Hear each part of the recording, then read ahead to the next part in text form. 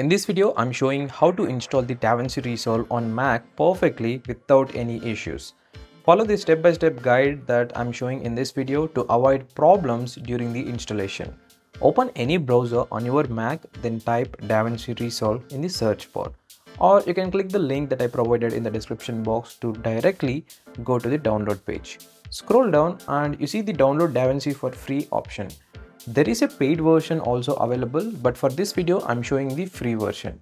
After clicking that a pop-up will come where it shows public and beta versions of free and paid software.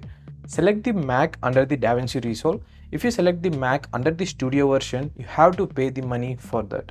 You need to fill in all details after this and finally click on register and download.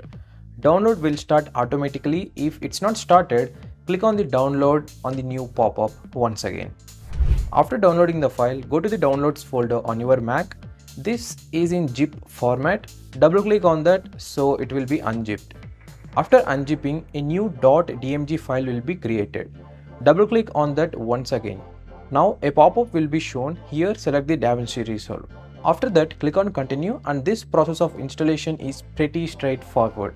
It takes some time to install the software and after successful installation, it shows installation completed.